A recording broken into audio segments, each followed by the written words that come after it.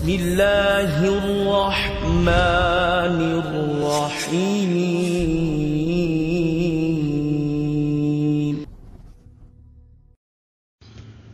ওয়ালাইকুম সালাম রহমতুল্লাহ ওবরাকাতহু আলহামদুলিল্লাহ ওয়াহদা ওসালাত ওয়াসালাম আলা মাল্লা নবী আবাদা এক সম্মানিত ভাই জিজ্ঞেস করছিলেন যে আমাদের গ্রামে দরগা আছে তো প্রতি বছর সেখানে দরগার নামে মানে কবরের উদ্দেশ্যে জবে করা হয় বা গরু দেওয়া হয়, তো এটা শরীয়তে কতটুক?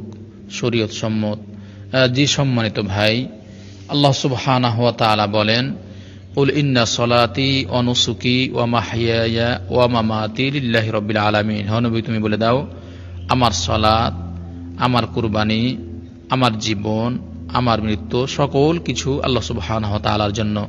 তাই আল্লাহ সুবহানাহু তাআলা এখানে বললেন যে, কুরবানি আপনার নজর আপনার ভয় ভীতি কল্যাণ সকল কিছু আল্লাহর জন্যই। তাই কেউ যদি এভাবে গরুকে বলি দেই অথবা গরু জবাই করে বা মাজারের উদ্দেশ্যে দেয় এগুলা মূলত আল্লাহকে বাদ দিয়ে যদি কেউ অন্য নামে করে তাহলে শেরেক। আল্লাহ সুবহানা আহ, বলছেন যে যে ব্যক্তি শিরিক করবে তার জন্য আল্লাহ সুবহানা তাআলা জান্নাত হারাম করে দিবেন। আল্লাহ সুবহানা তাআলা বলেন ইন্নাহু মাইয়ুশরিক বিল্লাহ ফাকাদ হারামাল্লাহু আলাইহি জান্নাহ। যে ব্যক্তি শিরিক করবে, আল্লাহ সুবহানা তাআলা তার জন্য জান্নাতকে হারাম করে দিবেন। অন্য হাদিসে ইমাম মুসলিম হাদিস নিয়েছেন আল্লাহ রসুল সাল্লাল্লাহু আলাইহি সাল্লাম বলছেন লান আল্লাহ মানজাবাহা লেগাইরিল্লাহ আল্লাহ সুবহানা তাআলা তার উপর লানত করেন, যে ব্যক্তি আল্লাহকে বাদ দিয়ে অন্য নামে জবাই করে, তার উপর লানত করেন, তার উপর লানত করেন। তো যে বিষয়টি হলো যে আল্লাহকে বাদ দিয়ে এগুলা কবরের নামে বা কোনো মূর্তির নামে বা কোনো অন্য কিছু দেবদেবীর নামে যেগুলো এগুলা করা হয়, মূলত এগুলো শিরকিয়াত কাজ। এগুলোর কারণে পরকাল হারাই যাবে।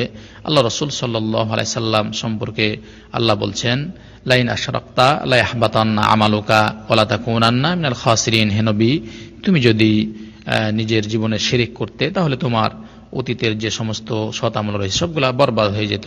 তাই এগুলা শিরকিয়াত কাজ এগুলা থেকে আমাদেরকে দূরে থাকতে হবে শিরকিয়া থেকে আমাদেরকে বেঁচে থাকতে হবে। নচেত আমাদের পরকাল হারাই যাবে। আল্লাহ আল্লাহ সুবহান তাআলা আমাদেরকে যেমন শিরেক থেকে নিষেধ করেছেন, অনুরূপভাবে রসুল্লাহ সাল্লাহ সাল্লাম নিষেধ করেছেন।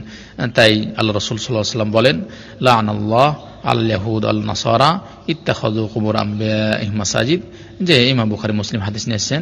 আল্লাহ রসুল বলছেন যে ইহুদি এবং নাসারদের উপর আল্লাহ সুবাহ তাআলা লানাত করেছেন, কারণ তারা নবী রাসুলদের কবরকে মসজিদ হিসেবে তৈরি করেছে। তাই যে বিষয়গুলো হলো যে আমরা আল্লাহর ঘর রয়েছে, ঘরে যাই এবাদবন্দি করব, যা কিছু করব আল্লাহর জন্য করব, কবরে গিয়ে বা কোনো মাজারে দরগা গিয়ে আপনার সেদিকে কাজ করব না। কারণ পবিত্র কোরআন এবং হাদিস পড়ুন, যে একটি বড় পাপের কথা বলা হয়েছে, যে কোনো ব্যক্তি যদি বড় শিরিক করে তাও বা ছাড়া মারা যায় তাহলে তার জন্য আল্লাহ সুবাহ তাআলা জান্নাত হারাম করে দিবেন। আর যদি আমরা কেউ এরকম করে বসি ভুলবশত, তাহলে আল্লাহ সুবাহ তাআলার কাছে তাওবা করব। আল্লাহ সুবাহ তাআলা ইনশাআল্লাহ মাফ করবেন। আল্লাহ বলছেন কুলিয়া ইবাদিল্লাদিন আসরাফু আলা আনফুসিহিম লা তাকনাতু মির রাহমাতিল্লাহ ইন্নাল্লাহ ইয়াগফিরুদ দুনুবা জামিয়া আল্লাহ সুবহানাহু তাআলা বলেন যে, হে নবী, তুমি বলে দাও, যারা নিজের ওপর জুলুম করেছে, যে সমস্ত মানুষেরা নিজের ওপর জুলুম করেছে, তারা যেন আল্লাহ রহমত থেকে বঞ্চিত না হয় নিরাশা না হয় বরং আল্লাহ সুবাহ তাআলা তাদের মাফ করবেন, তিনি ক্ষমাশীল ও দয়ালু।